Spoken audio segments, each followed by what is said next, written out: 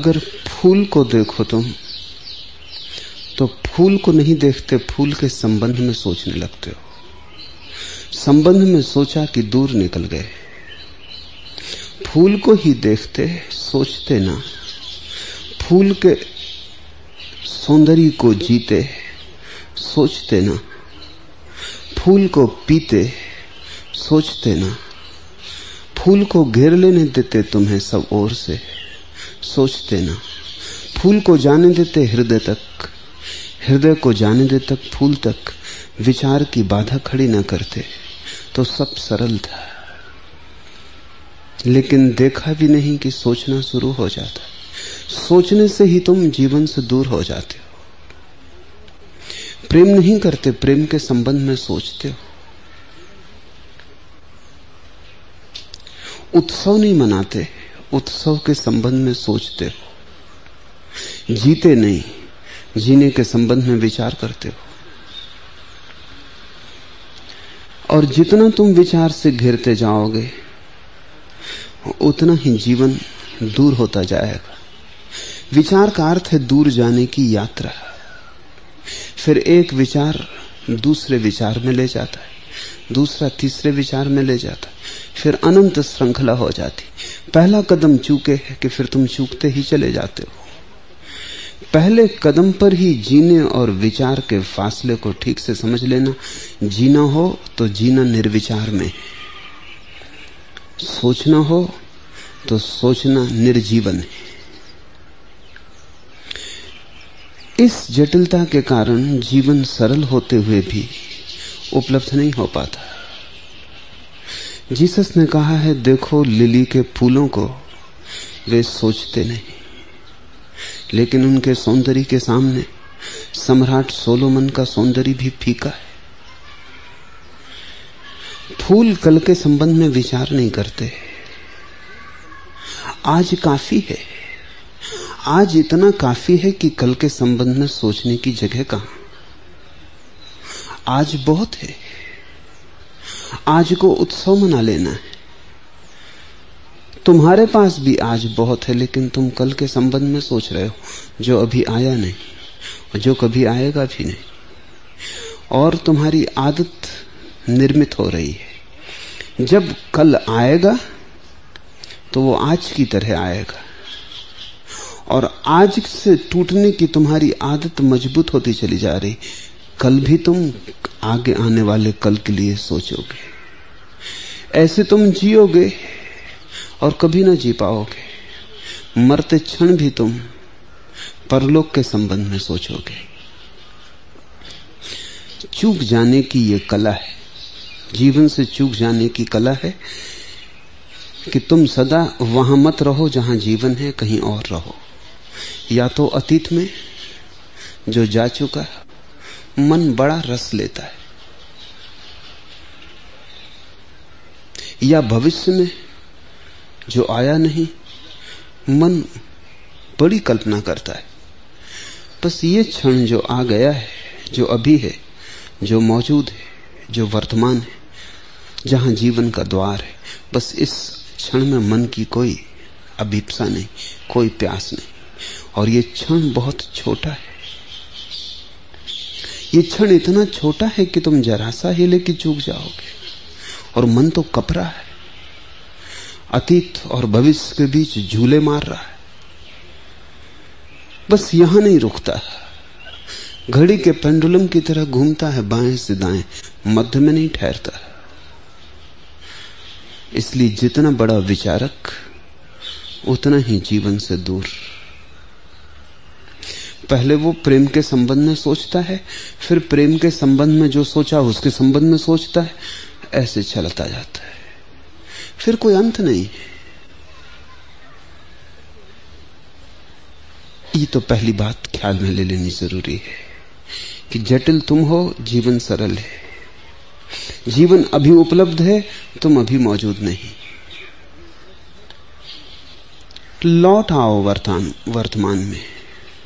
समेट लो अपने को पीछे से और आगे से। ठहर जाओ यहीं और अभी।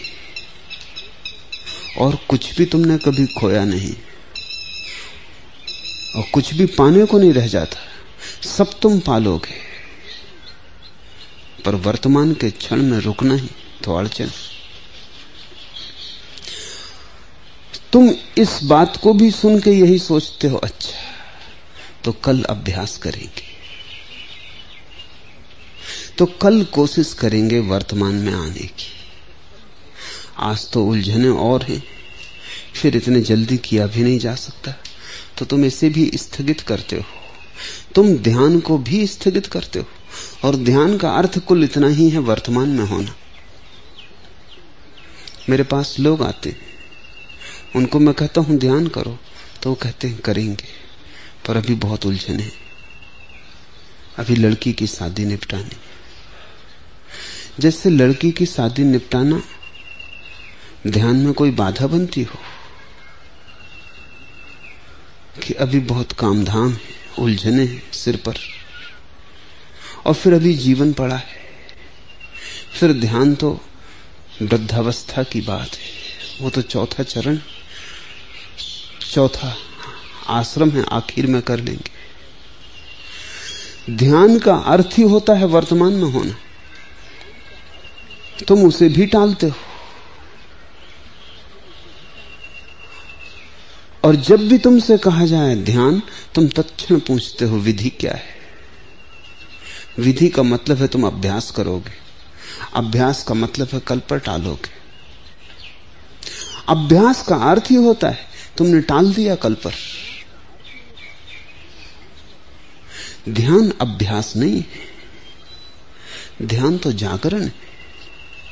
अभी हो सकता है। अभ्यास किया तो कभी ना होगा। क्योंकि अभ्यास की बात में ही तुम भूल गए, चूक गए।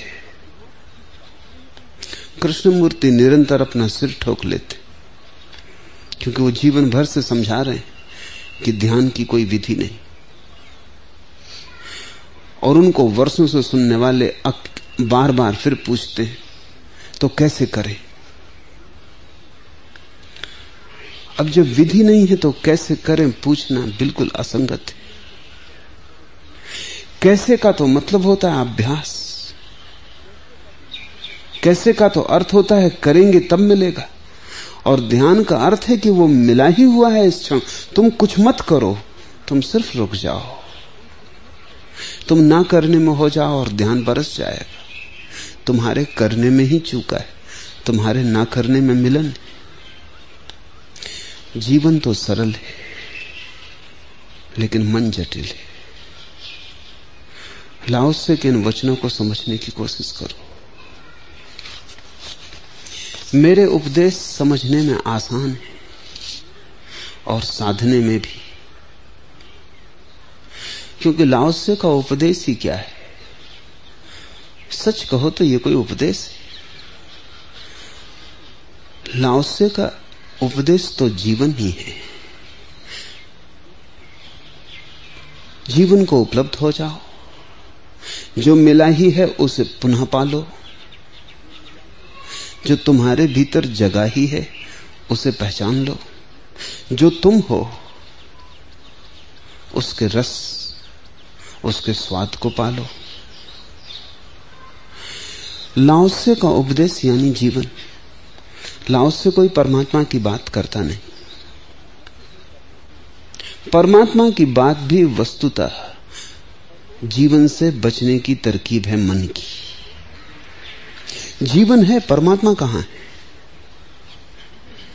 और जीवन को ही जिन्होंने उसकी गहनता में जान लिया, उन्होंने परमात्मा को जान लिया। लेकिन मैंने अब तक एक आदमी नहीं देखा जो मुझसे पूछने आया हो कि जीवन कैसे जिए? मुझसे लोग पूछने आते हैं, परमात्मा को कैसे खोजे?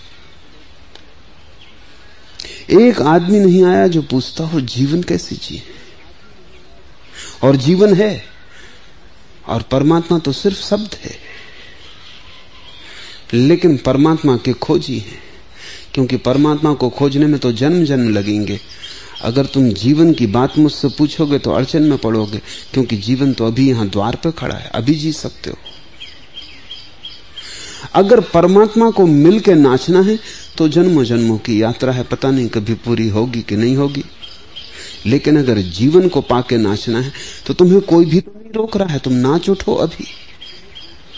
द्वार पर जीवन बरस रहा है। सूरज उगा है, पक्षी गीत गा रहे हैं। सब तरफ़ उत्सव है। तुम किसकी खोज कर रहे हो? तुम क्यों नहीं उस उत्सव में सम्मिलित हो जाते अभी? अगर तुम जीवन की पूछोगे तो अभी मिल सकता है। इसलिए तुम जीवन की पूछते ही नहीं। तुम पूछते हो, परमात्मा कहाँ है? परमात्मा का रूप क्या है? परमात्मा है या नहीं? तुम परमात्मा को तरफ़ से सिद्ध करते हो, असिद्ध करते हो, सिद्धांत बनाते हो। और जो है, वो तो सिर्फ़ जीवन है, उसका कोई सिद्धांत? उसका कोई शास्त्र बिना वेद के पक्षी जी रहे हैं, बिना बाइबल के वृक्ष जी रहे हैं बिना कुरान के आकाश जी रहा है। तुम क्यों नहीं जी सकते? तुम क्यों शास्त्र को बीच में लाते हो? कहीं कोई गहरी चालाकी है जो तुम अपने साथ खेल रहे हो। कोई खेल है जिसमें तुम अपने को धोखा दे रहे हो। एक दिन मैं मुल्ला नसरुद्दीन के घर गया वो पेशेंस खेल रहा था, ताश खेल रहा था अकेला ही। मैं बैठा, उसका खेल देखता रहा। मैंने देखा कि उसने कई बार अपने को ही धोखा दे रहा है। अकेले ही खेल रहा है, दोनों तरफ़ से चाने खुद ही चल रहा है। लेकिन उसमें भी धोखाधड़ी कर रहा है। मैंने पूछा कि नसरुद्दीन, धोखा दे रहा है, उसने कहा, कहाँ दिया? धोखा वगैरह कुछ नहीं दे रहा हूँ। नियम से खेल रहा हूँ। कि तुम्हारे अतिरिक्त यहाँ कोई भी नहीं है। तुम ही दोनों तरफ़ से चाले चल रहे हो, धोखा भी देने का क्या सार है? उसने कहा, मैंने कभी धोखा दिया ही नहीं। अभी भी वो धोखा दे रहा है। मैंने पूछा, ये तो असंभव मालूम पड़ता है कि तुम अकेले हो, धोखा दो और पता ना चले। उसने कहा कि मैं काफ़ी होशियार हूँ धोखा देने। देता हूँ और पता भी नहीं चलने देता। किसको धोखा दे रहे हो तुम, शास्त्रों को बीच में लाके? शास्त्रों की दीवार खड़ी करके तुम किससे रोक रहे हो? तुम जीवन के ही प्रवाह को रोक रहे हो। तुम सूर्य की किरणों को रोक रहे हो। तुम पक्षियों के गीत को रोक रहे हो। तुम अपने को ही रोक रहे हो। लेकिन एक बार तुम शास्त्रों में उलझ गए कि फिर तुम गहन जंगल में खो गए।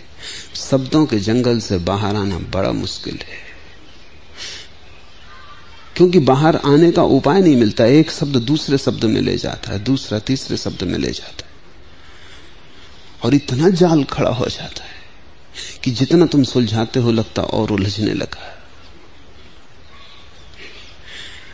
जीवन के संबंध में पूछो, जीवन ही परमात्मा है। और जीवन के अतिरिक्त तो और कोई परमात्मा नहीं। लेकिन तुम्हारे धर्मगुरु तो जीवन की निंदा कर रहे हैं। उन्होंने तो परमात्मा को जीवन के विपरीत खड़ा कर रखा है।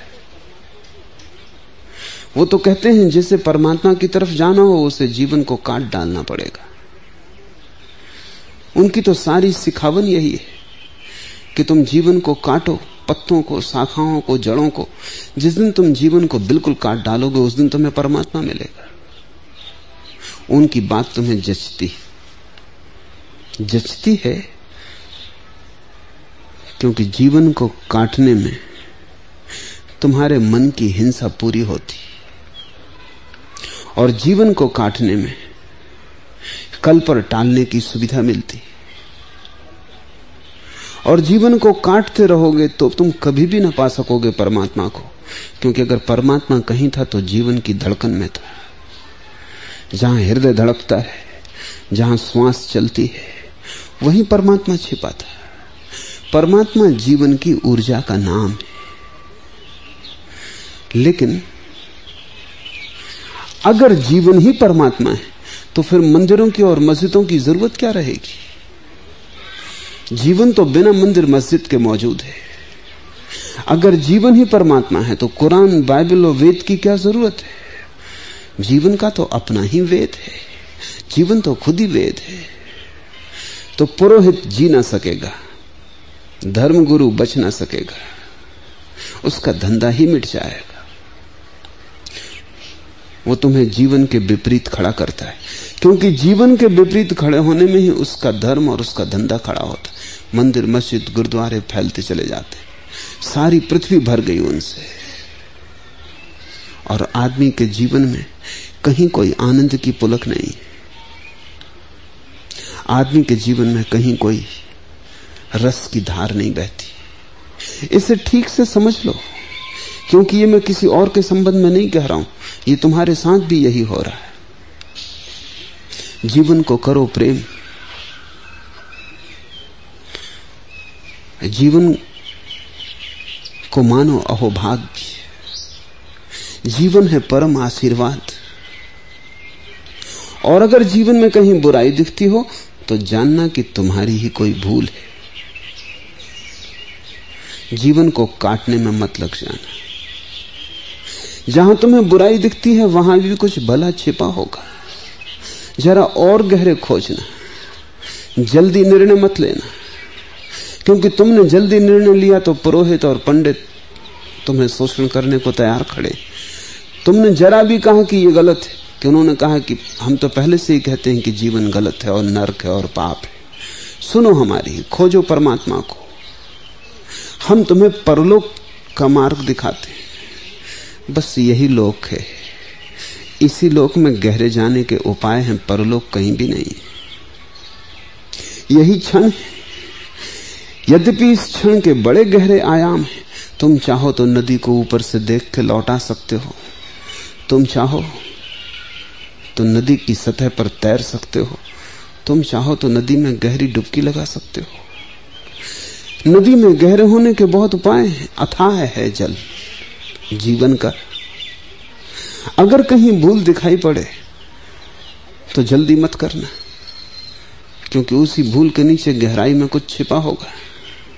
अगर कहीं कठोरता भी मालूम पड़े तो भी जल्दी निंदा मत करना।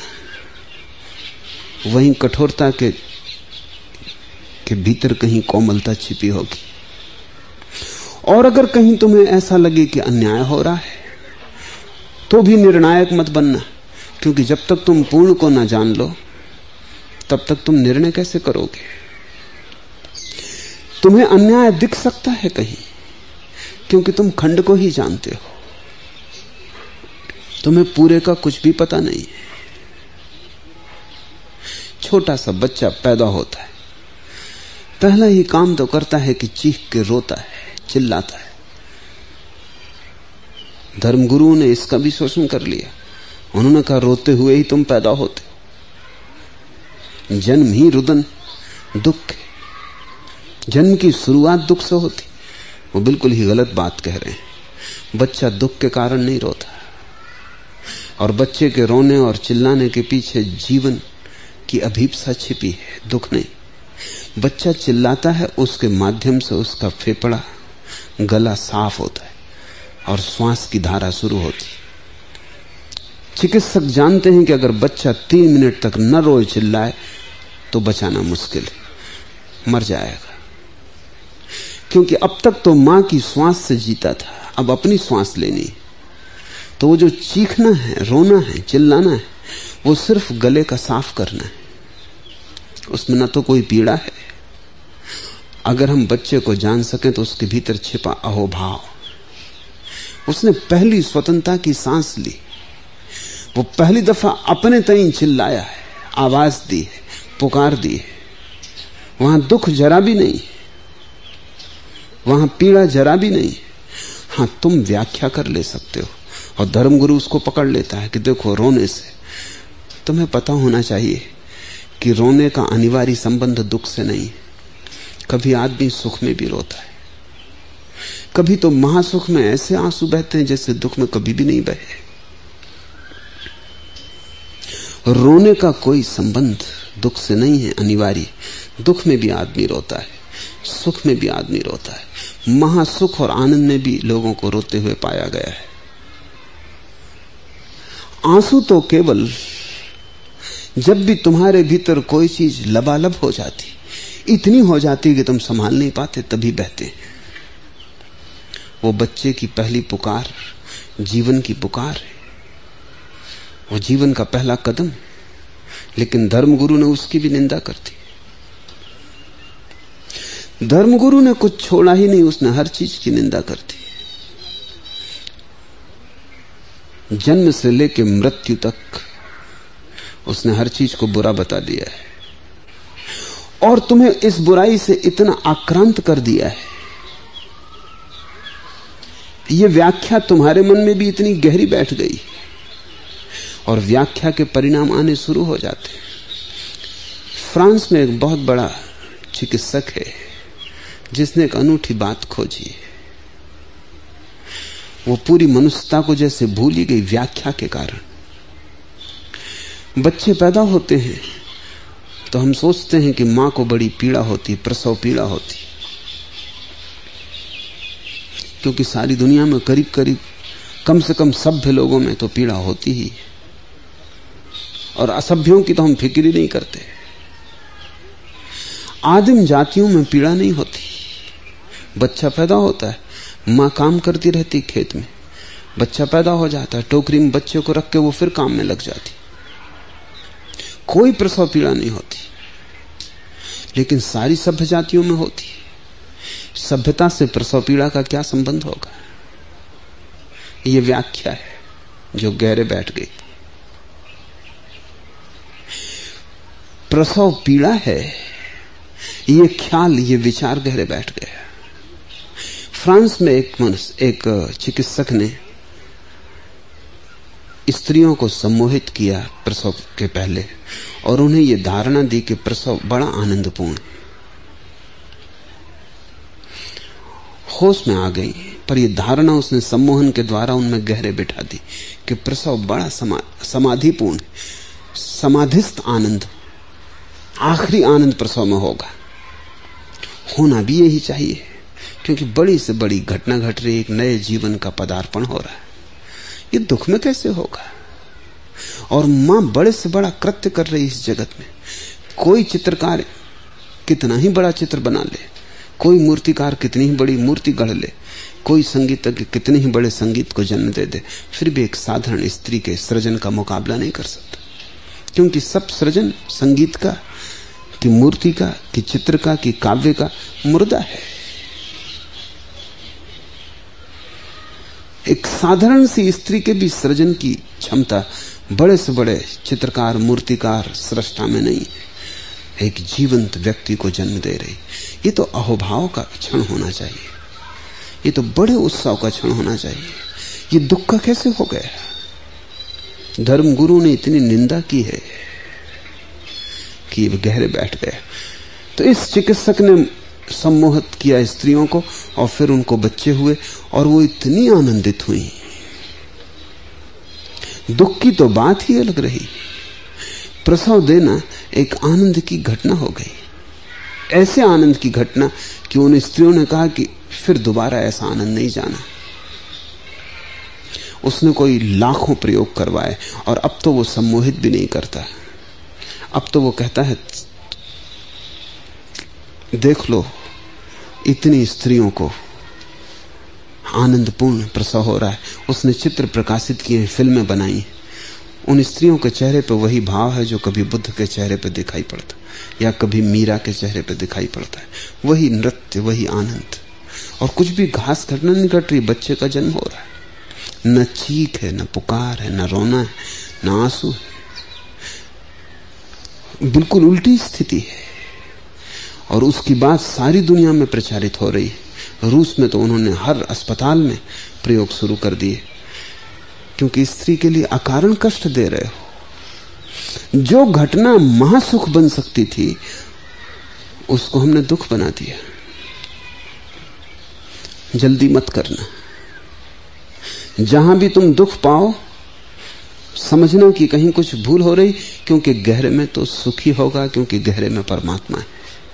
हर घटना के पीछे छिपा है वही। तो ऊपर ऊपर से निर्णय मत ले लेना, भीतर जाना। जीवन के अतिरिक्त और कोई परमात्मा नहीं और जीवन की निंदा जिसने की, उसके मंदिर के द्वार सदा के लिए बंद हो गए। फिर वो भटके काशी, काबा, कैलाश, उसके मंदिर के द्वार बंद हो गए। फिर वो करे सत्संग। सुने रामायण, गीता, वेद, करे पाठ, कुछ भी न होगा।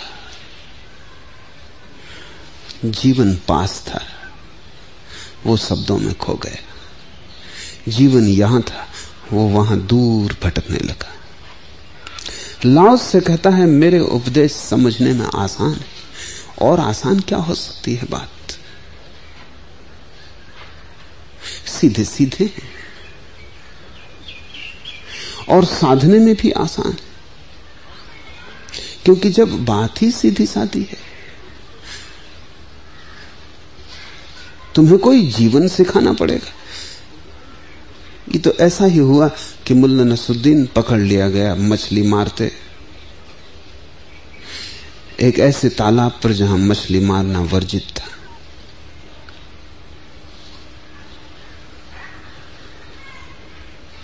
जब पुलिस ने उसे पकड़ लिया, पूछा कि तुम ये क्या कर रहे हो? तख्ती दिखाई नहीं पड़ती कि हाँ मछली मारना वर्जित है। ये सम्राट का अपना तालाब है। इस पर कोई मछली नहीं मार सकता। नसुद्दीन ने कहा मछली मार कौन रहा है? लेकिन उसकी बंसी में फंसी एक मछली तड़फ रही थी। तो उन्होंने कहा, फिर ये क्या हो रहा है? उसने कहा कि मछली को तैरना सिखा रहा हूँ। तुम्हें जीवन सिखाना ऐसा ही है जैसे मछली को कोई तैरना सिखाए। सिखाना क्या है? जीवन तो है ही। तुम क्या सीखने के लिए भटके फिर रहे हो? और तुम सीखने के लिए भटकते हो तो कोई ना कोई चालबाज मिल जाता है जो सिखाने लगता है। तुम मानते ही नहीं, तुम कहते हो सीखेंगे। मछली तैरने की, सीखने की आकांक्षा करती कोई ना कोई नसरुद्दीन मिल जाएगा जो तैरना सिखा दे जीवित तुम हो। सब तुम्हारे पास है। और लाओसिर का कोई और उपदेश तो नहीं है, जीवन ही उपदेश है। इसलिए वो कहता है कि मेरे उपदेश समझने में आसान और मेरे उपदेश साधने में आसान है। साधना क्या है? लेकिन तब दूसरे दो वचन तुम्हें बड़े हैरानी के लगेंगे और बड़े सच। लेकिन न कोई उन्हें समझ सकता है और न कोई उन्हें साध सकता है।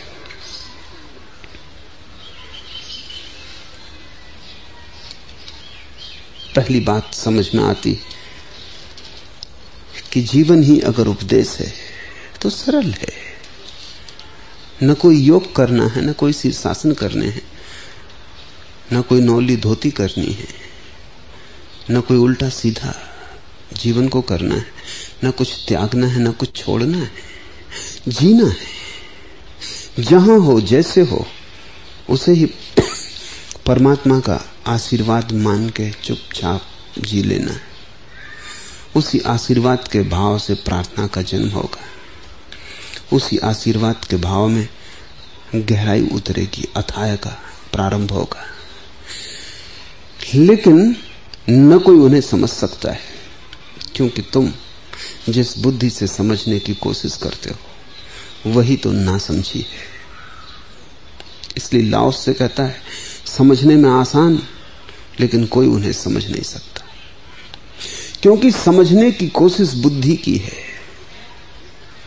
और जीवन बुद्धि से ज़्यादा गहरा है। जीवन को जी सकते हो, समझोगे कैसे? प्रेम में उतर सकते हो, प्रेम को समझोगे कैसे? सौंदर्य को पी सकते हो, समझोगे कैसे? क्या है सौंदर्य? सौंदर्य पर हज़ारों शास्त्र लिखे गए अब तक कोई सौंदर्य की व्याख्या नहीं कर पाया कि क्या है सौंदर्य। जिन्होंने भी व्याख्याएँ की हैं, वो सब हार गए, थक गए। तो और ये भी नहीं कह सकते कि सौंदर्य नहीं है।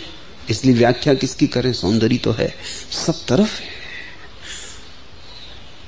सौंदर्य से भरा है अस्तित्व। तो ये तो कह नहीं सकते कि सौंदर्य नहीं है। लेकिन क्या है सौंदर्य? कैसे कहो? कैसे परिभाषा बनाओ? शब्द में कैसे समझाओ सौंदर्य का शास्त्र नहीं बन पाता। सौंदर्य है भरपूर और शास्त्र नहीं बन पाता। तो लाओस से कहता है, समझने में आसान, लेकिन न कोई उन्हें समझ सकता है और न कोई उन्हें साध सकता है। समझने की बात ही नहीं है, यही तो समझना है। बात जीने की है। कबीर ने कहा है, लिखा लिखी की है नहीं, देखा देखी बात। कोई लिखा लिखी की होती, समझ लेते, पढ़ लेते तो देखा देखी बात। देखने की है। सौंदर्य देख सकते हो, समझ नहीं सकते। सौंदर्य को अनुभव कर सकते हो, समझ नहीं सकते। अनुभव संपूर्ण का होता है, समझ बुद्धि की होती। समझ तो सिर्फ़ विचार की होती है, अनुभव तन प्राण सबका होता है, इकट्ठे का होता है, रोआ रोआ उसमें सम्मिलित होता है। जब फूल को तुम खिलते देखते हो, सौंदर्य की प्रतीति होती तो क्या प्रतीति खोपड़ी में ही होती? रोए रोए पर छा जाता है फूल। उसके खिलने में तुम भी कहीं भीतर खिल जाते हो। उसके साथ एक रास बन जाता है, एक रंग बन जाता है। आँख कान सब तरफ़ से प्रवेश कर जाता है। बुद्धि को भी उसका अंश मिलता है, पर अंश ही मिलता है।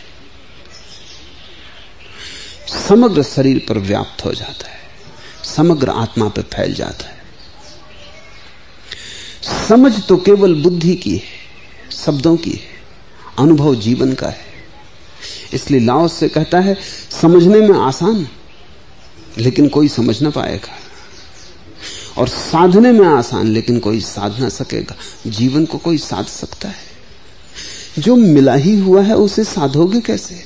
साधना तो उसे पड़ता है जिसे हम लेके नहीं आते। सीखना तो उसे पड़ता है जो हमारा स्वभाव नहीं है। सीखने का अर्थ ही होता है प्रभाव। एक बच्चा पैदा होता है। उसे हम जो जो बातें सिखाते हैं, वो उसके स्वभाव में नहीं है। अगर हम ना सिखाते तो वो कभी अपने आप पैदा ना होती। लेकिन कुछ बातें अपने आप पैदा हो जाती। वो उसका स्वभाव है। बच्चा जवान होता और प्रेम की आकांक्षा उठती। बच्चा जवान होता और प्रेम की पुकार उठती।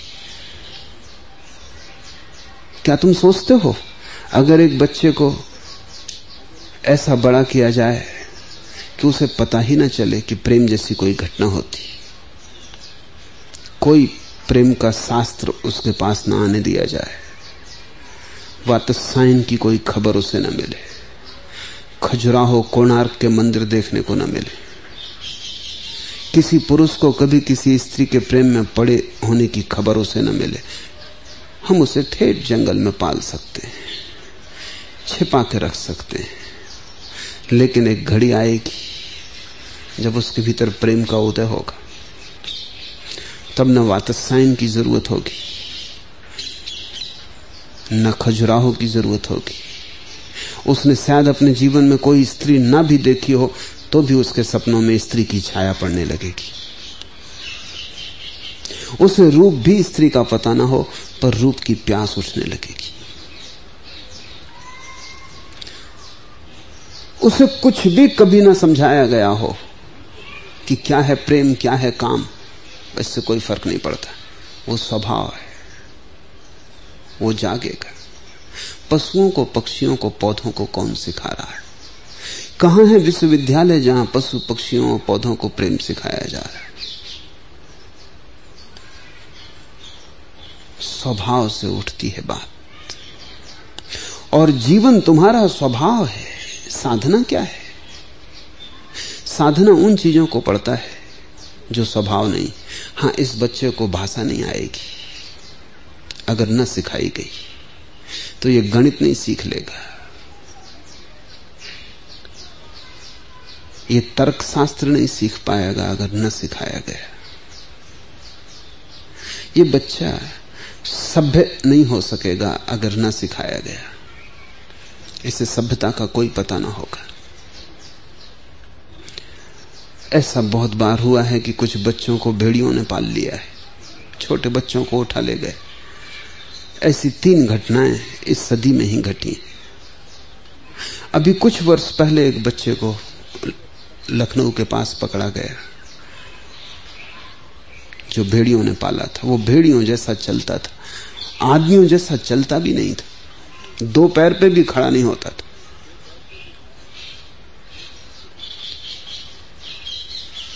शायद वो भी हम सिखाते बच्चा अपने आप अगर छोड़ दिया जाए तो शायद चारों हाथ पैर से चलेगा, क्योंकि वही सुगम है। दो पैर पर खड़ा होना तो बड़ा हठयोग है बच्चे के लिए। धीरे धीरे अभ्यास होने से खड़ा हो जाता। कोई भाषा नहीं बोलता था। क्योंकि भाषा कैसे सीखता? लेकिन एक बात अनुभव की गई उस बच्चे में, कि अगर वो अशांत होता, और कोई प्रेमपूर्ण स्त्री उसके ऊपर हाथ फेर देती तो वो शांत हो जाता। वो जो स्त्री का स्पर्श वो उसे शांत करता, उसे माँ का स्पर्श बन जाता होगा। उसे कभी माँ का स्पर्श याद भी नहीं। प्रेम की आकांक्षा उसमें भी थी। लेकिन और उसके पास कुछ भी न था, वो बिल्कुल जंगली जानवर था। मांस कच्चा खाता था। छह महीने लग गए उसे भोजन खिलाने में, सिखाने में। छह महीने लग गए उसको किसी तरह खड़ा करने में। छह महीने में वो मर भी गया। और मेरा अपना ख्याल है कि उसको सिखाने की ये जो चेष्टा की गई, इसमें वो मर गया। अन्यथा वो बड़ा स्वस्थ था जब आया था। क्योंकि उसके ऊपर ये भारी हो गया। बारह साल का बच्चा था। उसको ये सिखाना बहुत भारी हो गया। ये इतना ज़्यादा तकलीफ़ दे हो गया कि वो मर गया। जैसे जैसे सिखाया, वैसे दुर्बल होता गया। जीवन को सिखाने की ज़रूरत ही नहीं है। जीवन कोई सभ्यता थोड़ी है, जीवन कोई शिक्षण थोड़ी है। जीवन तो तुम हो। तो जीवन को जानने के लिए तो तुमने जो सीख लिया है, उसको थोड़ा अनसीखा करना ही हितकर होता है। ताकि तुम थोड़े मुक्त हो सको बंधनों से। ताकि तुम थोड़े अपने चारों तरफ़ की दीवार को तोड़ के बाहर आ सको। तो लाओस से अगर कुछ भी कह रहा है तो वो ये कह रहा है कि तुमने जितना सीख लिया है वो ज़रूरत से ज़्यादा है। काम चलाओ को बचा लो, बाकी को छोड़ दो। या जो तुम बचाओ, उसको भी बाहर बाहर रखो, भीतर मत ले जाओ। उसे तुम्हारे प्राणों को आक्रांत मत करने दो। जीवन को सिखाना नहीं है। जीवन तुम हो। इसलिए लाओस से कहता है, न कोई उसे साध सकता है। समझने में आसान और कोई समझ नहीं सकता। और जब तक तुम समझने की कोशिश करोगे, तुम वंचित रहो समझने से। साधने में आसान और कोई साध नहीं सकता। जीवन को साधने की कोशिश मत करना। जीवन को तुम्हारे साधने की कोई ज़रूरत नहीं। जीवन लंगड़ा नहीं है कि उसे शिक्षा की वैसाखियाँ चाहिए। जीवन के पास अपने पंख हैं, अपने पैर हैं। तुम सिर्फ़ जीवन को खुला मुक्त छोड़ देना। और तुम पाओगे कि जीवन चलने लगा अपने आप। जीवन के पास परमात्मा की ऊर्जा है। ये पूरा अस्तित्व उसे साथ दे रहा है। जीवन पंगु नहीं है, और न जीवन कमज़ोर है। जीवन के पास बड़ी ऊर्जा है।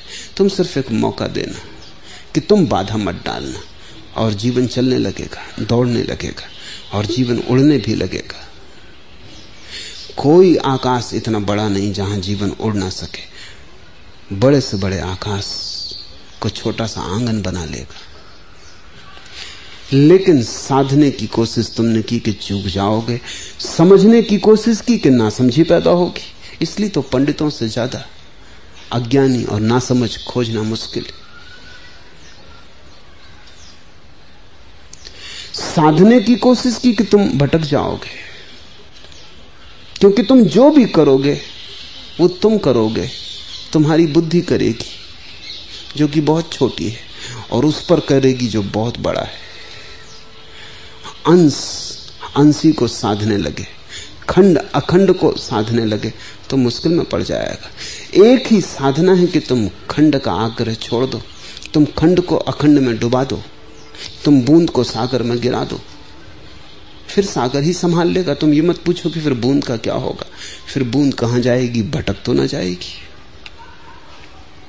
तुम बूंद को बचाओ मत और सागर को सिखाने की कोशिश मत करो और सागर को बांधने की चेष्टा मत करो। सागर को साधने की चेष्टा मत करो। अगर लाओस्य को ठीक से समझो तो कोई साधना नहीं है। इसलिए लाओस्य ने किसी योग की विधियों की कोई बात नहीं की। न कोई पद्धतियाँ, न कोई मार्ग। साधना ही नहीं है। लाओस से यह कह रहा है कि तुम्हें मिला है, उसे भोगो। तुम्हें मिला है, उसे जियो। तुम जीने में कृपणता कर रहे हो। तुम जीने तक में कंजूस हो। तुम सांस तक डरे डरे लेते हो। कोई आदमी पूरी सांस नहीं लेता। फेफड़ों में वैज्ञानिक कहते हैं छह हज़ार छिद्र। और स्वस्थ से स्वस्थ आदमी भी जो सांस लेता है, वो केवल दो हज़ार छिद्रों तक जाती चार हज़ार छिद्र तो बिना उपयोग के पड़े रहते। तुम सांस तक पूरी नहीं ले रहे, कैसे घबराए हुए और सांस लेने में क्या तुम्हारा खो रहा है? लेकिन सांस के साथ आता है जीवन। सांस के साथ आती है ऊर्जा और ऊर्जा का भय। छोटे बच्चे पूरी सांस लेते कभी छोटे बच्चे को लेटा हुआ देखो जब वो सो रहा हो तो उसकी छाती नहीं उठती, उसका पेट ऊपर उठता है। वो सांस का पूरा ढंग है।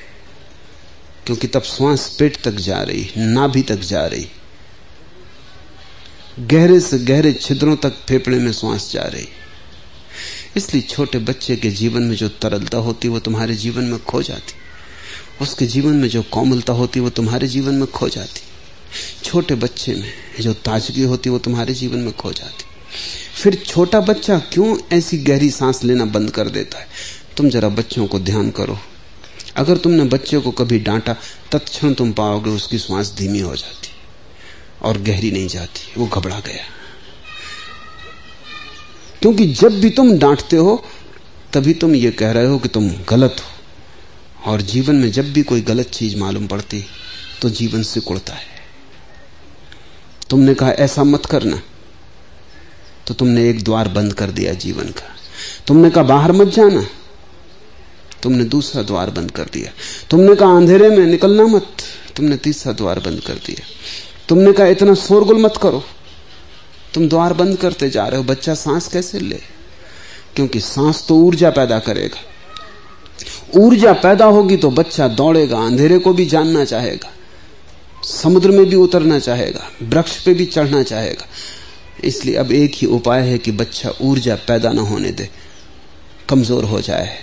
खुद ही पेड़ पे चढ़ने में डरने लगे तो तुम्हें डराने की ज़रूरत ना रहे। तुम्हारे नियमों के कारण बच्चा अपने को कमज़ोर कर लेता है। अगर तुम्हारे नियम न हो तो हर बच्चा वृक्षों पे चढ़ेगा। हर बच्चा नदियों में तैरेगा। हर बच्चा पहाड़ की यात्रा पर जाएगा। और जीवन के सभी अभियान करेगा। अगर तुम्हारे निषेध नियम ना हो तो बच्चा वो सब जानना चाहेगा, जो जीवन जानना चाहता है। जो उसका भीतर का जीवन कहेगा, जानो वो जानेगा, बुरे को भी जानेगा, क्योंकि वो भी जीवन का आयाम है। भले को भी जानेगा, क्योंकि वो भी जीवन का आयाम है। क्रोध भी करेगा, करुणा भी करेगा, हंसेगा भी, रोएगा भी। वो जीवन के सब आयाम को अनुभव करेगा, और तब तुम पाओगे उसकी श्वास पूरे छह हज़ार छिद्रों तक जाती। तब उसके पास एक जीवन होगा जो ऊपर से बह रहा है।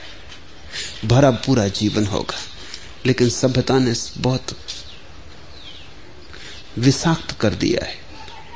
इधर जो लोग भी गहन ध्यान में उतरना शुरू होते हैं और विशेषकर सक्रिय ध्यान में जिसमें श्वास का बड़ा प्रयोग है, वो मेरे पास आना शुरू हो जाते हैं। वो कहते हैं कि बड़ी अजीब अजीब बातें श्वास की चोट से उठनी शुरू हो रही। कि कभी इतना क्रोध अनुभव नहीं किया था, क्रोध अनुभव हो रहा है। और कोई कारण नहीं। है और कभी इतनी उदासी नहीं थी, उदासी अनुभव हो रही और कोई कारण नहीं है। वो दबी हुई, जो श्वास कम लेके जिनको दबा दिया था, वो सब वृत्तियाँ वापस उठनी शुरू हो जाती। डायाफ्राम के पास तुम्हारे सब दबे हुए मनोवेग पड़े। उन पर जैसे ही चोट लगती, वो सब जगने शुरू हो जाते। घबराहट होती कि कहीं पागल तो ना हो जाएँगे। हद आश्चर्य है कि जीवन को सिकोड़ के तुम स्वस्थ बने हो और जीवन को फैलाते ही पागल होने का डर पैदा होता है। तुम्हें इतना डरा दिया गया है। तुम्हें समझाया ही ये गया है कि तुम मरे मरे जीना। क्योंकि तुम अगर प्रगाढ़ता से जियोगे तो बुराई भी आएगी और तुम्हें संस्कृत होना है, सभ्य होना है, सज्जन होना है, साधु बनना है। असाधु को काटकर तुम्हारा आधा जीवन काट दिया गया है।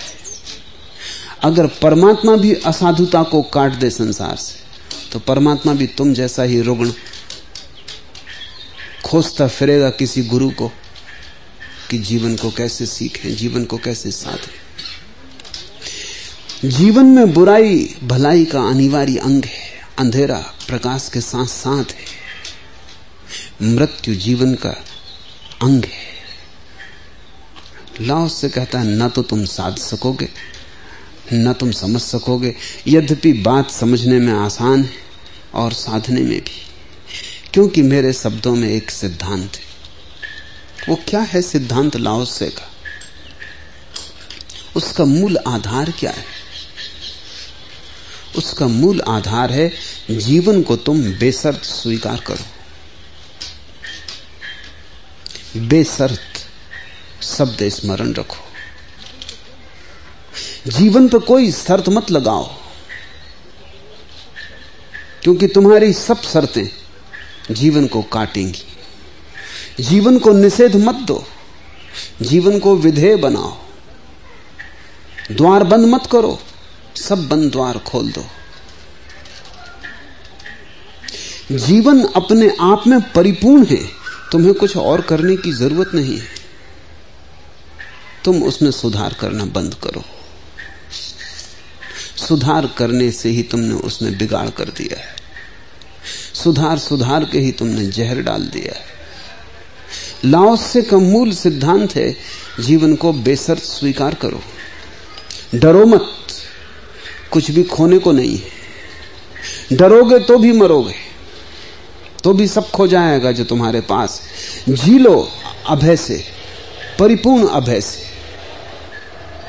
लेकिन तुम्हारे भीतर जब मैं ये कह रहा हूँ, तब भी मैं जानता हूँ, बेचैनी आ गई होगी। अभय से जी लो, फिर पाप का क्या होगा? अभय से जी लो, फिर बुराई का क्या होगा? अभय से जी लो, फिर नियम, शास्त्र, समाज, सभ्यता, संस्कृति, इसका क्या होगा?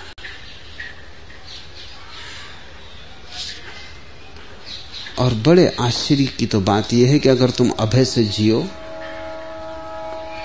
तो पाप धीरे धीरे परमात्मा में लीन हो जाता है। निषेध तुम करो ही मत तो निषेध करने को कुछ बचता ही नहीं। सभी विधेय हो जाता है। तुम अचानक पाते हो कि जगत एक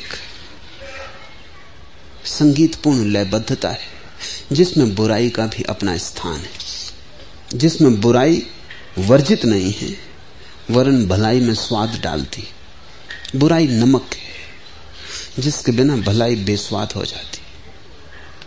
तुम थोड़ा सोचो, एक आदमी जो क्रोध कर ही ना सकता हो, उसकी करुणा में कितनी गहराई होगी? छिछली होगी, उथली होगी, उसकी करुणा नपुंसक होगी, उसमें बल ना होगा। जो आदमी क्रोध कर सकता हो, जिसने क्रोध पे कोई निषेध ना लगाया हो बल्कि जिसने क्रोध को जिया हो और जीकर ही क्रोध करुणा बन गया हो। जितना क्रोध को जाना हो, उतनी करुणा उपजने लगी हो। जितने अपने भीतर की हिंसा को पहचाना हो, उतनी ही भीतर की अहिंसा जगने लगी हो। उसके करुणा में एक गहराई होगी, अतल गहराई होगी। वो गहराई क्रोध के कारण आ रही। जिस आदमी ने काम वासना जाने ही नहीं उसके ब्रह्मचरी में क्या होगा? उसकी ब्रह्मचरी को तुम नपुंसकता से ज़्यादा और क्या नाम दे सकोगे? और नपुंसक ब्रह्मचरी कोई ब्रह्मचरी लेकिन जिसने वासना का उभार जाना, जिसने वासना का ज्वार जाना, जिसने वासना को जिया, उसके अनंत अनंत रूपों में पहचाना, उस पहचान, उस स्वाद, उस अनुभव से ब्रह्मचरी का जन्म होगा। तो ब्रह्मचरी एक शिखर होगा, जो घाटियों को पार कर गया। जिसने अंधेरी घाटियाँ छोड़ दी, जो अंधेरी घाटियों के ऊपर उठ गया। उस ब्रह्मचरी का रस और रहस्य और ऊर्जा और जीवन में कुछ भी बुरा नहीं है, क्योंकि सभी बुराइयाँ अंततः बली हो जाती। जो बेसर्त जीता है उसे शुरू में तो कठिनाई होगी, क्योंकि चारों तरफ़ समाज है। चारों तरफ़ निषेध लिए हुए लोग चारों तरफ़ अदालतें, नर्क, स्वर्ग सब खड़े पंडित, पुजारी, पुरोहित सब मुर्दा। लेकिन तुम्हें भी मुर्दा बनाने को सुख स्वाभाविक है ये, क्योंकि जो खुद भी नहीं जी रहा है वो दूसरे को जीने न देगा। जो खुद जीने से वंचित रह गया है उसकी ईर्षा भयंकर होती तुम्हारे साधु सन्यासी तुम्हें जीने ना देंगे, क्योंकि वे मर रहे हैं। उन्होंने अपने को काट डाला है। उन्होंने अपनी जड़ें तोड़ ली वे चाहेंगे कि तुम भी अपनी जड़ें तोड़ लो। उनकी ईर्षा भयंकर और उनकी ईर्षा धर्म के आवरण में छिपी, इसलिए तुम पहचान भी ना सकोगे। उनकी ईर्षा निंदा बन गई उनकी ईर्षा ने तुम्हारे लिए नरकों का इंतज़ाम किया है। जो व्यक्ति भी जी नहीं पा रहा है ठीक से, वो दूसरे को भी जीने नहीं देगा। तुम मुस्कुराओगे तो उसे पीड़ा होगी। वो तुम्हारे मुस्कुराहट पर भी जहर डाल देगा और कहेगा कि ये पाप है।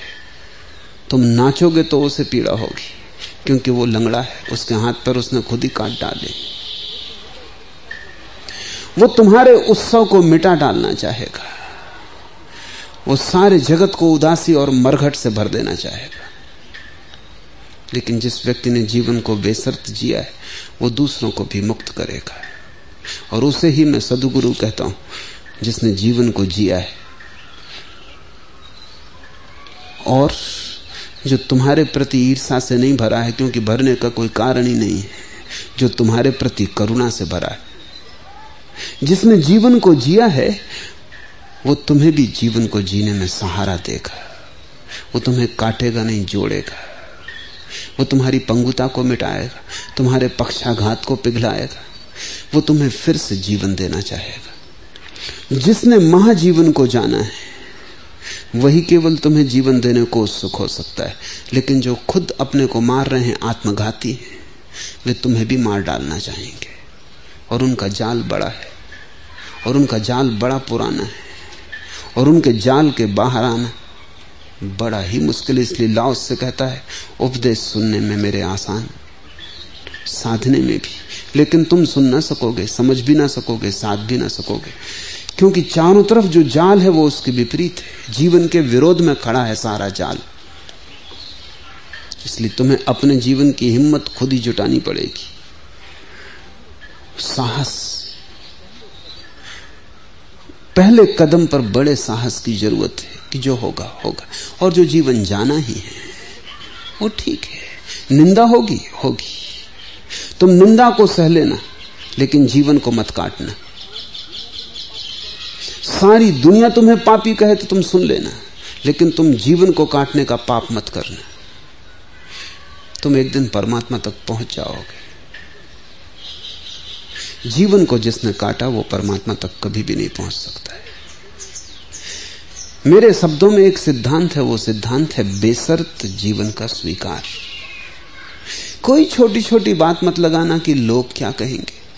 तुम लोगों के कहने के लिए यहाँ नहीं हो। और तुम कुछ भी करो, लोग कभी तुम्हारे संबंध में भला कहते हैं क्या? बड़ी पुरानी कथा है कि शिव पार्वती को लेकर पूर्णिमा की रात घूमने निकले। और शिव तो जीवन के प्रतीक है। जीवन का महाभोग, बेसरत भोग उसके ही प्रतीक है। दोनों चल रहे हैं। साथ में नंदी चल रहा है। कुछ लोग मिले राह पर। उन्होंने कहा, ये मूर्ख देखो दोनों। जब नंदी साथ है तो पैदल क्यों चल रहे हैं? अब उनका कुछ लेना देना नहीं, न नंदी से, न शिव से, न पार्वती से। लेकिन लोग कुछ तो कहेंगे। लोग बिना निर्णय लिए नहीं ले सकते, रह सकते। तो शिव ने कहा, ठीक। तो शिव नंदी पर बैठ गए। पार्वती चलने लगी। फिर कुछ लोग भी उनका, ये देखो, मूर्ख आदमी। खुद चढ़ा है नंदी पे और पत्नी को पैदल चला रहा है। हद हो गई। असभ्यता की।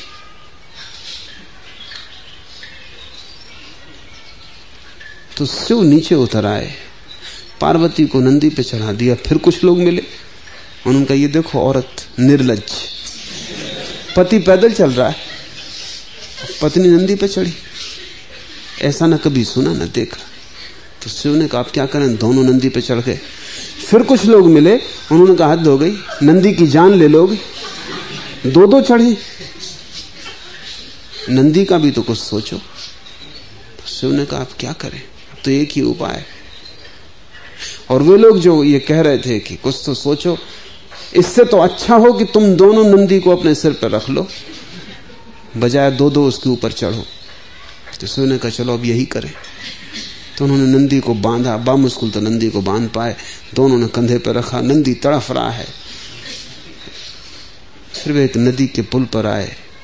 वहाँ बड़ी भीड़ थी और लोग कहने लगे, हद हो गई मूर्खता की। बहुत मूर्ख देखे भाई, ये महामूर्ख। नंदी पे चढ़ने के लिए है कि उसको कंधे पे ढोने के लिए? अब बड़ी मुश्किल थी, अब कोई विकल्प ही ना छूटा था। और तभी नंदी तड़फड़ाया ज़ोर से और पुल से नीचे गिरा। शिव ने पार्वती को कहा कि देख ले कुछ भी करो, लोग तो निंदा करेंगे। क्योंकि ये सवाल नहीं है कि तुम कुछ करते हो, इसलिए वो निंदा करते। वो निंदा करना चाहते हैं, इसलिए कोई भी बहाना खोज लेते। निंदा करेंगे ही, क्योंकि निंदा में ही उनके अहंकार की तृप्ति है। तुम्हारा करना तो सिर्फ़ बहाना है उनके लिए, तुम कुछ भी करो, इससे कोई फ़र्क नहीं पड़ता। हर हालत में निंदा पाओगे। तो लोगों की फ़िक्र छोड़ दो। समझदार उनकी फ़िक्र नहीं करता। वो क्या कहते हैं वो उनकी, वो जाने। वो कहते हैं, खुद सुने। समझदार उनकी चिंता नहीं करता। समझदार तो अपने जीवन को ऐसे जीता है जैसे वो अकेला है। यहाँ कोई दूसरा है ही नहीं। तुम ऐसे ही जियो। कि तुम जैसे अकेले हो, तभी तुम्हारे जीवन में वो सूत्र आ जाएगा, जिसको लाओस से कहता है मेरा सिद्धांत। बेसर्त जियो, कुछ खोने को नहीं और पाने को सब कुछ है अगर बेसर्त जिए। लाओस से कहता है मेरे शब्दों में एक सिद्धांत है, और मनुष्यों के कारोबार में एक व्यवस्था है। क्या है व्यवस्था मनुष्य के कारोबार में? जो मनुष्य को दिखाई नहीं पड़ती। वो व्यवस्था ये है कि जीवन का सारा कारोबार विरोधियों के मिलन से निर्मित है। और मन विरोधियों के मिलन को बर्दाश्त नहीं कर पाता। यहाँ जीवन और मृत्यु दोनों साथ साथ हैं। और मन दोनों को साथ साथ समझ भी नहीं पाता, सोच भी नहीं पाता, विपरीत कैसे साथ हो सकते मन कहता है विपरीत साथ नहीं हो सकते, विपरीत विपरीत है। और लाओस से कहता है कि सारे कारोबार में एक व्यवस्था है, विपरीत विपरीत है ही नहीं, सहयोगी कॉम्प्लीमेंटरी ये दो बातें अगर ख्याल में रह जाएँ कि जीवन को बेसर्त जियो और विपरीत को विपरीत मत मानो, सहयोगी मानो तो तुम मुक्त हो जाओगे। अगर तुमने विपरीत को विपरीत माना तो तुम चुनाव करोगे। तब तुम असाधु के खिलाफ साधु बनोगे। तब तुम आधे रहोगे और आधा जीवन कोई जीवन है। असाधु कहाँ जाएगा तुम्हारा फिर? वो बोझ की तरह तुम्हारे ऊपर लटका रहेगा। काट थोड़ी सकते हो, क्योंकि जीवन की व्यवस्था यह है कि तुम साधु असाधु दोनों हो, जैसे बाएँ और दाएँ पैर की ज़रूरत है चलने के लिए। अब कहीं कोई अगर धर्म पैदा हो जाए, जो कहे कि बाया पैर बुरा और दाया पैर अच्छा और ऐसे लोग हैं, बाएँ हाथ को बुरा मानते।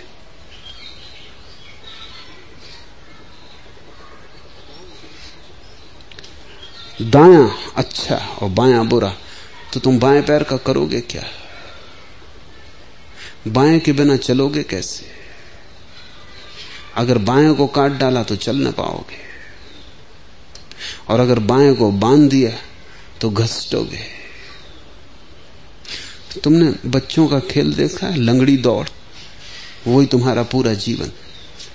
उसमें दो बच्चे एक एक टांग बाँध लेते। तो तीन टांगे हो जाती हैं चार की जगह। और फिर वो दौड़ते। तुम्हारा जीवन एक लंगड़ी दौड़ है, जिसमें तुमने एक टांग को समाज की टांग से बाँध लिया है और फिर दौड़ने की कोशिश कर रहे हो।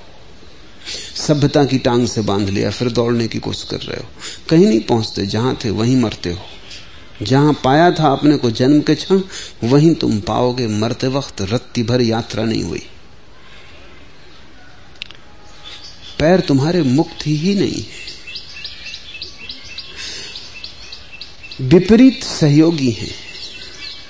इसलिए लाओ से साधु का पक्षपाती नहीं, मैं भी नहीं और संत हम उस आदमी को कहते हैं जिसने अपनी साधुता और असाधुता में संगीत खोज लिया।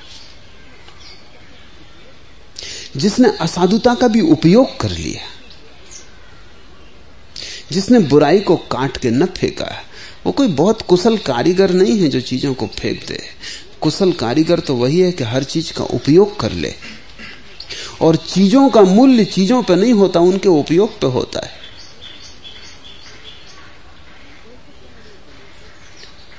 कैसे तुम उन्हें जमाते हो? इस पर निर्भर करता है। पूर्ण के भीतर कोई खंड किस भांति जमाया गया है, इस पर निर्भर करता है। संगीत शोरगुल है।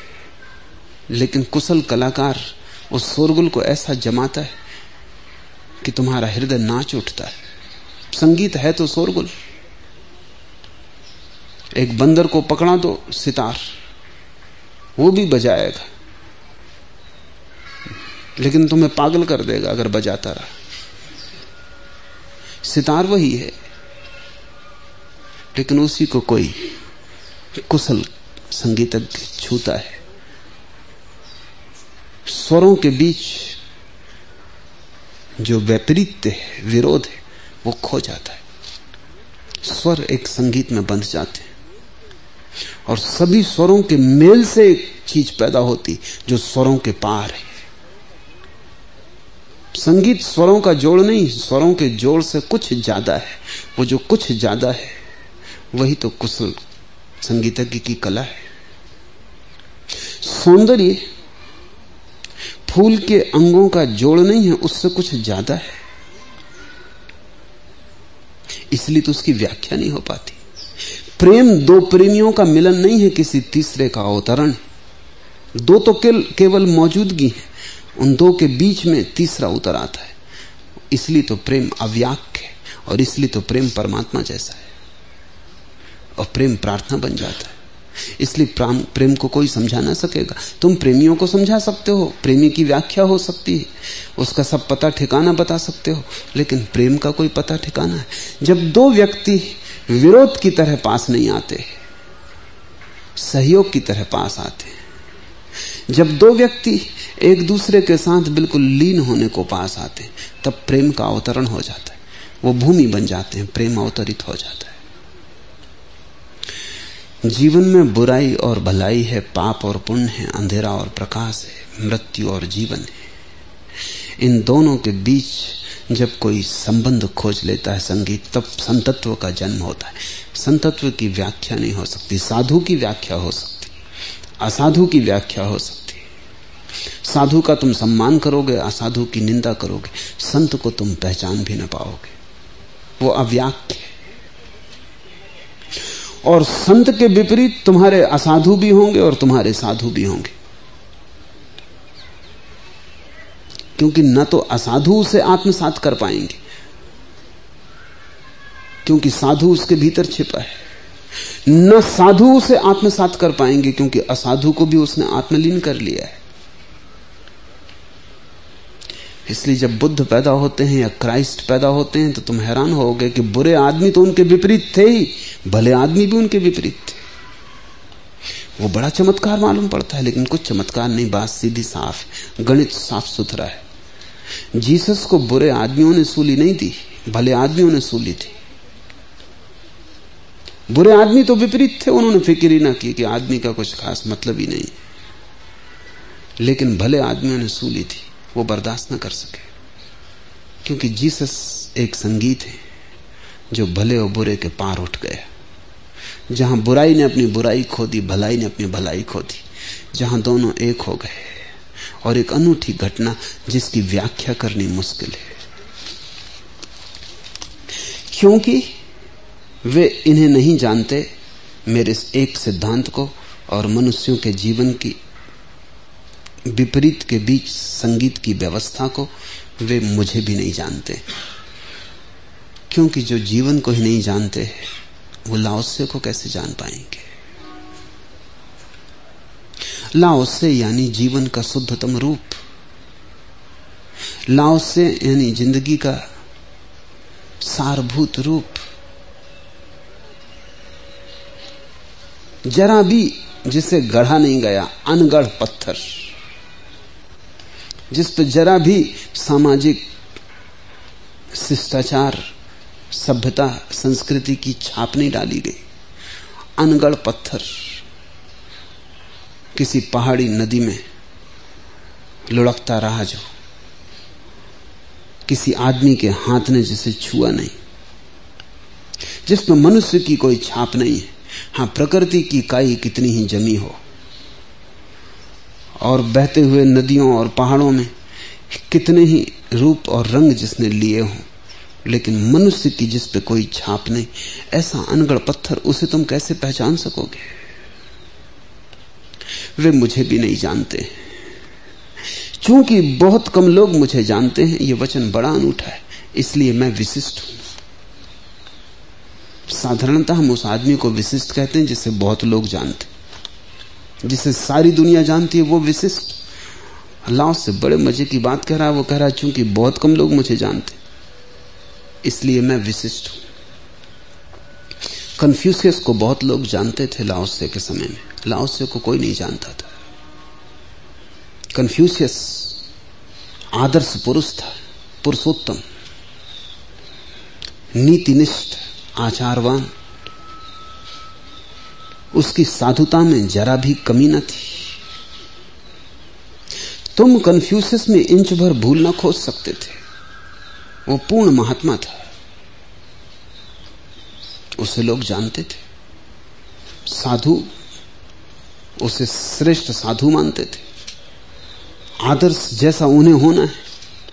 असाधु भी उससे ईर्षा करते थे। जैसे घाटियाँ ईर्षा करती हो पहाड़ों से, अंधेरी रात ईर्षा करती हो दिन से। असाधु भी सपने में सोचते थे कि कभी कन्फ्यूज़ जैसे हो जाएँ, और साधु भी सोचते थे कि कभी ये आदर्श पूरा होगा चलते चलते शिखर था कन्फ्यूसियस चीन में। लाओसे को कोई भी नहीं जानता था, क्योंकि लाओसे को पहचानना मुश्किल। कन्फ्यूसियस था। किसी के आँगन में लगे हुए साफ़ सुथरे बगीचे की भांति। जहाँ हर चीज़ कटी है साफ़ सुथरी है, जहाँ माली के हाथ के स्पष्ट चिन्ह जहाँ तुम भूल नहीं खोज सकते, जहाँ उद्यान के सब नियमों का पालन किया गया है, और लाओस से था किसी पहाड़ी, जंगल की भांति, जहाँ कोई नियम नहीं है, जहाँ कोई व्यवस्था नहीं मालूम होती, या कोई ऐसी व्यवस्था है जो अदृश्य है और दिखाई नहीं पड़ती। है तो जंगल की भी व्यवस्था, क्योंकि जंगल भी जीता है। और क्या तुम्हारे बगीचे जिएँगे जंगल के सामने? कमज़ोर, दीनहीन। लेकिन जंगल में सब समाविष्ट है। सूखे पत्ते भी गिरे हैं, वो भी समाविष्ट है। सूखी डालें भी पड़ी हैं, वो भी समाविष्ट है। इर्छे तिरछे वृक्ष हैं, वो भी समाविष्ट है। जंगल के भीतर प्राण तो महान है। लेकिन रूप पर कोई काट छांट नहीं की गई है। जंगल वैसा ही है जैसा परमात्मा ने चाहा है। जंगल में भय लगेगा। बगीचे में तुम विश्राम कर सकते हो निश्चिंत होकर। और जंगल में सौंदर्य देखना हो तो तुम्हारे भीतर भी जंगली आत्मा चाहिए। नहीं तो तुम्हें सौंदर्य दिखाई ना पड़ेगा। बगीचे का सौंदर्य तो कोई भी देख लेगा, उसके लिए किसी विराट जंगल जैसी आत्मा की ज़रूरत नहीं। वो तो दुकान और बाज़ार में बैठा आदमी भी बगीचे के सौंदर्य को पहचान लेता है, क्योंकि वो आदमी का ही बनाया हुआ है और आदमी की समझ में आता है। जंगल परमात्मा का बनाया हुआ है, और परमात्मा जैसे तुम ना हो जाओ तो समझ में नहीं आता। अराजकता दिखाई पड़ती, ऊपर से भीतर बड़ा संगीत छिपा है। ऊपर सब अस्त व्यस्त मालूम होता है और सारी अस्त व्यस्तता में एक व्यवस्था छिपी है। तो लाओस्य को तो लोग नहीं समझ पाए। कोई जानता भी ना था।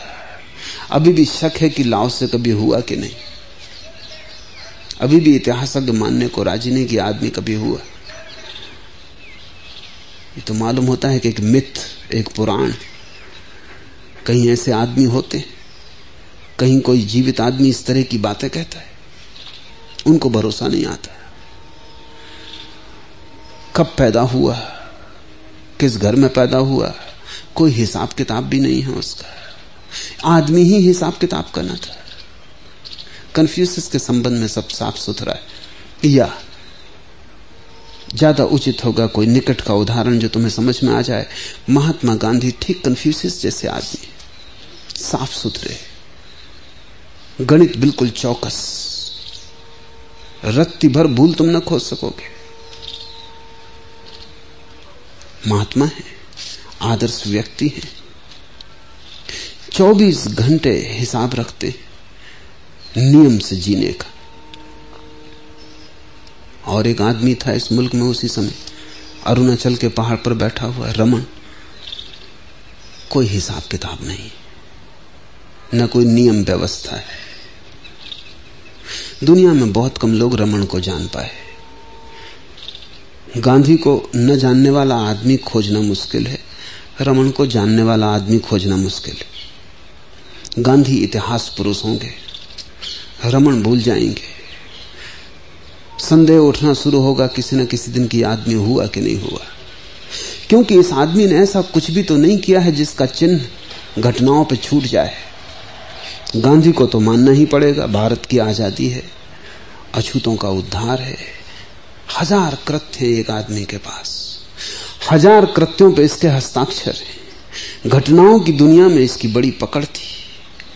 अखबार पर इसकी छाप थी। जहाँ भी कुछ घट रहा था, वहाँ यह आदमी मौजूद था। यह आदमी जहाँ मौजूद था, वहाँ चीज़ें घटना शुरू हो जाती थी। घटना क्रम में इस आदमी की गति थी। वहाँ रमन थे। उल्लास से जैसे कुछ भी कर नहीं रहे थे। कुछ किया ही नहीं तो इतिहास क्या बनेगा? अब ना करने का कोई इतिहास तो होता नहीं। दुनिया में कोई ऐसी बड़ी क्रांति नहीं करी की, कि जिसको लिखा जाए। करोड़ों करोड़ों लोगों का जीवन नहीं बदल डाला। उनके जीवन की व्यवस्था नहीं बदल डाली। कौन फ़िक्र करेगा? एक इटालियन विचारक, लेंजा दिल वास्तव रमन के आश्रम गया, तीन दिन रहा और उसने कहा कि यह आदमी अपने काम का नहीं। फिर गांधी के आश्रम आया और उसने कहा कि यह आदमी है। ये रमन भी कोई आदमी खाली बैठा है। कुछ सेवा करो। दुनिया में इतना कष्ट है। कष्ट को मिटाओ। इतने बीमार हैं। इतनी पीड़ा है। ये किस तरह का अध्यात्म कि तुम खाली बैठे हो? इस अध्यात्म को पहचानना बहुत मुश्किल और यही एकमात्र अध्यात्म लिंजा दलवास्तव गांधी से जाके दीक्षित हुआ। रमन को छोड़ आया और गांधी से दीक्षित हुआ। लोगों के दुर्भाग्य का कोई हिसाब नहीं गांधी ने नाम दिया शांतिदास। लिंजा दलवास तो शांतिदास हो गए। लेकिन जहाँ शांति थी, वहाँ से चूक गए।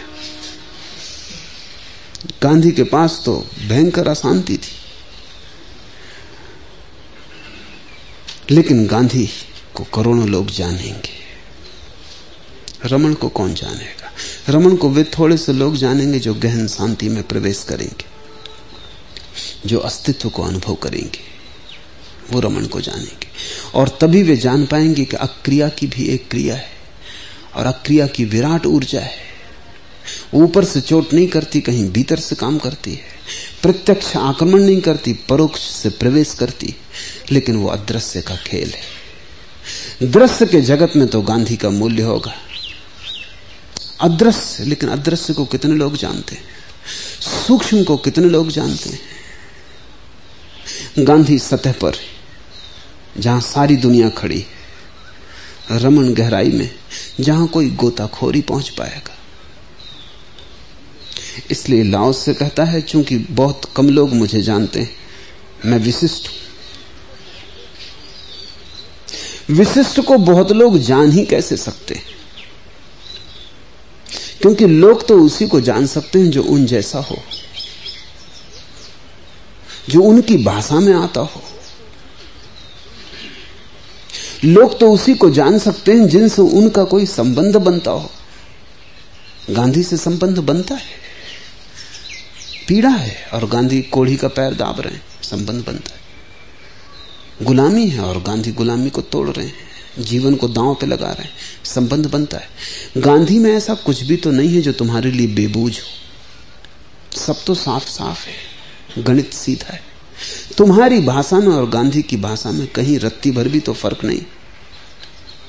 भला तुम गांधी ना हो, लेकिन होना तो तुम भी गांधी ही चाहते हो। आदर्श तो वही है। वो हो गए हैं, तुम कल हो जाओगे। तुम कोशिश करोगे। वो मंजिल पर पहुँच गए हैं, तुम रास्ते पर हो, लेकिन रास्ता एक ही है। वो दस कदम आगे होंगे, तुम दस कदम पीछे हो या दस मील आगे होंगे, दस मील पीछे हो। लेकिन तुम में और गांधी में एक तारतम्य भेद नहीं है। गांधी बिल्कुल समझ में आते रमन बिल्कुल समझ में नहीं आते। क्योंकि वो उस रास्ते पे नहीं मालूम पड़ते जिस पे तुम हो। वो चलते ही नहीं मालूम पड़ते। रास्ते की तो बात दूर। वो बैठे मालूम पड़ते। लाओस से और तुम में बड़ा फ़र्क है। भाषा ही नहीं मिलती। दोनों के बीच कोई कम्युनिकेशन का संवाद का साधन नहीं जुड़ता। दोनों जैसे बिल्कुल अपरिचित अजनबी, दो अलग अलग लोगों के वासी कैसे तुम जान पाओगे? कैसे तुम पहचानोगे? तुम लाओसे के पास से गुजर जाओगे, लेकिन तुम्हें महात्मा दिखाई ना पड़ेगा, क्योंकि तुम्हारे महात्मा सतह पर है। तुम्हारे महात्मा तुम्हारे भाषा में आते, तुम्हारे साग सब्ज़ी तोलने के बटखरों से तुम्हारे महात्मा भी तुल जाते, तुम्हारे फुट इंचों से तुम्हारे महात्मा भी नप जाते, फुट इंच तुम्हारे, नाप तुम्हारा है, और तुम्हारे महात्मा भी बहुत बड़े नहीं हो सकते, जो तुम्हारे फुट इंच से नप जाते, लेकिन तुम कैसे नापोगे लाओस से को थाय नहीं फुट इंचों का काम नहीं तुम कैसे नापोगे लाओस को? तुम्हारे बटखरे बड़े छोटे हैं, उनसे कोई तालमेल ही नहीं उठता। उनसे कोई संबंध ही नहीं जुड़ता। और इसलिए तुम चूक जाओगे। लाओसे के पास से गुजरोगे लाओस दिखाई ना पड़ेगा। और ऐसा नहीं कि तुम न गुजरे हो। इतने लंबे समय से तुम पृथ्वी पर हो। न मालूम कितनी बार लाओस से जैसे व्यक्तियों के पास से गुजरने का मौका मिला होगा। लेकिन वो तुम्हें दिखाई नहीं पड़े। क्योंकि उनमें ऐसा कुछ भी ना दिखाई पड़ा जिसे तुम तोल लेते। तुमने उन्हें अस्पताल में सेवा करते ना पाया। तुमने उन्हें जाके गरीब को भूदान करते ना देखा। तुमने उन्हें समाज की सामान्य क्षुद्र व्यवस्थाओं में कोई क्रांति करते ना देखा। उन्होंने दहेज प्रथा के खिलाफ कोई आंदोलन न चलाया। और न हरिजनों का उद्धार करने की कोई चेष्टा की। इनको तुम पहचानोगे कैसे? ये तो ऐसे थे जैसे वृक्ष हो। ये तो ऐसे थे जैसे पहाड़ी चट्टाने हो। ये तो ऐसे थे जैसे पहाड़ी झरने हो। ठीक है, थोड़ी देर तुम इनके पास बैठ लिए। एक जंगली सौंदर्य था इनके पास, फिर तुम अपनी राह पर हो लिए। ये तुम्हारे काम के न थे। तुम इनका उपयोग ना कर सके, इसलिए तुम इनसे वंचित हो गए और तुम इनका उपयोग कर भी नहीं सकते।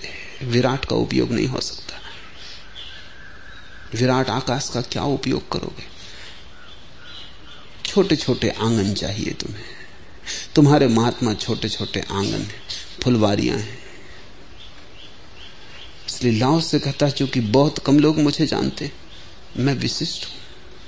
लोग पास से गुजर जाते हैं और पहचानते नहीं। मैं विशिष्ट हूँ। विशिष्ट की यह परिभाषा बड़ी अनूठी है। इसलिए संत बाहर से तो मोटा कपड़ा पहनते, लेकिन भीतर हृदय में मणिमाणिक के लिए रहते। संत के मणिमाणिक उसके कपड़ों पर नहीं जड़े। साधु के मणिमाणिक उसके कपड़ों पर जड़े। साधु को तुम ऊपर से ही पहचान लेते हो। वो नग्न खड़ा है। कैसे बचोगे पहचानने से? वो धूप में खड़ा है। कैसे बचोगे पहचानने से? वो भूखा खड़ा है, उपवास कर रहा है। कैसे बचोगे पहचानने से? वो शीर्षासन कर रहा है, कांटों पर लेटा है। तुम भागोगे कहाँ? तुम बचोगे कैसे? उसके सब मणिमाणिक ऊपर जुड़े हैं। साधु एग्जीबिशनिस्ट प्रदर्शनवादी। असाधु और साधु में बहुत फ़र्क नहीं। वो एक ही चीज़ के दो पहलू हैं। असाधु भी चर्चा करते हैं अपनी असाधुता की। अगर तुम चोरों डांकों के पास जाओ तो वो सब दावा करते हैं कि कितनों को लूटा, कितनों को मारा। झूठे दावे मारे होंगे दो तो बताते हैं बीस। कारागार में चले जाओ पागल खाने में चले जाओ, पूछो तो तुम पाओगे वहाँ अपराधी बता रहे हैं। एक दूसरे पर रोब गांठ रहे हैं। काटी होगी जेब, बताते हैं खजाना लूट लिया। असाधु भी प्रदर्शनवादी है। वो भी कोई छोटा असाधु नहीं होना चाहता, वो भी कहता, मुझसे बड़ा कोई असाधु नहीं। तुम्हारे साधु भी प्रदर्शनवादी। वो कहते हैं हमने इतने उपवास किए। इतनी तपस्या की। इतने हज़ार दफ़ा माला फेरी। लाख राम के नाम लिख डाले। वो भी हिसाब रखे हुए उनसे बड़ा कोई साधु नहीं संत का कोई दावा नहीं क्योंकि न तो वो साधु है कि दावा कर सके और ना असाधु है कि दावा कर सके। उसमें रात और दिन मिल गए रात भी प्रकट दिखाई पड़ती है। गहन अंधकार। भरी दोपहरी भी साफ़ है। सूरज जलता है। साधु तो संध्या जैसा है। जहाँ दिन और रात मिलते सब धुंधला धुंधला है। वास्तविक संत, संध्या जैसा है। जहाँ सब धुंधला है, जहाँ कुछ साफ़ नहीं है, रहस्यपूर्ण है, न रात है, न दिन है, दोनों मिल गए न जीवन है, न मृत्यु है, दोनों मिल गए न शुभ है, न अशुभ है, दोनों मिल गए संत का जीवन तो संध्या का जीवन है, जहाँ सब मिल गया है। जान सकेंगे वे ही जो मधुर के संगीत को सुन सकते हैं, जिनको दोपहरी की आदत है, उनको संध्या न जचेगी। उसमें त्वरा नहीं है, तेज़ी नहीं है, सब धीमा धीमा फीका फीका है। जिनको गहन अंधेरी रात की आदत है, उनको भी संध्या जचेगी नहीं। अंधकार की तीव्रता अंधकान का घनापन वहाँ नहीं, सब विरल है। रात भी साफ़ है, दिन भी साफ़ है संध्या धुंधली है, संत धुंधला है। उसे वे ही पहचान सकते हैं, जिनको धुंधले में देखने की आँखें हों जिनके पास, जो रहस्य में झाँक सकते हो। जहाँ सीमाएँ खो जाती हैं, वहाँ जिनको देखने की क्षमता हो, जहाँ परिभाषाएँ मिट जाती जहाँ द्वंद लीन हो जाता है। वहाँ जिनके पास पहचान हो वहाँ गति करने की जिनके पास क्षमता हो, फिर थोड़े से लोग ही पहचान सकेंगे। और तब संत के भीतर बड़े मणिमाणिक के। काश तुम संध्या में झाँक सको तो संध्या में सारा दिन भी छिपा है और सारी रात भी। काश तुम अपरिभाष्य में झाँक झाँक सको तो सब सत्य भी वहीं छिपे हैं, सब असत्य भी। काश तुम एक संत में झाँक सको तो तुम्हें जीवन के सभी राज वहाँ मिलते हुए मिलेंगे। शुभ और अशुभ वहाँ आलिंगन किए खड़े। वहाँ प्रथम और अंत एक साथ मौजूद है। संत बाहर से तो मोटा कपड़ा पहनते हैं, लेकिन भीतर हृदय में मणिमाणी के लिए रहते हैं। बाहर उनका कोई भी दावा नहीं है। इसलिए अगर तुम्हें दावेदारों को ही पहचानने की आदत है तो तुम संत को कैसे पहचान पाओगे? उसका कोई भी दावा नहीं है। संत बिना दावे के जीता है, बिना शर्त, बिना दावे के। संत सिर्फ़ जीता है। अगर तुम्हें जीवन की सुगंध पहचानने की कला आ गई तो तुम पहचान सकोगे। और तब संत से एक द्वार खुलता है, जो द्वार जो द्वार तुम्हें ठीक परमात्मा के मंदिर में पहुंचाते हैं।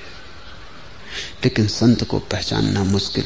संत बिल्कुल सरल है, इसलिए पहचानना मुश्किल। संत जीवन जैसा सरल है, इसलिए पहचानना मुश्किल। संत को साधना भी मुश्किल। साधु को साध सकते हो, असाधु को साध सकते हो। साधु हम कहते हैं उसको क्योंकि उसने बहुत साध लिया। असाधु भी इसलिए कहते हैं कि उसने विपरीत साध लिया। संत को तुम न साध सकोगे, न समझ सकोगे। संत को तो तुम सिर्फ़ अगर मौका दे दो, तुम्हारे भीतर प्रविष्ट होने का।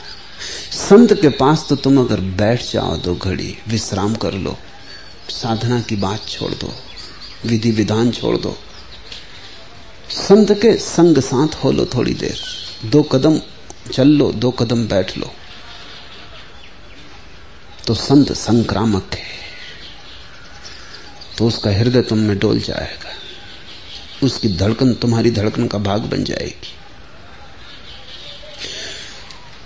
और तभी पहचान संभव है।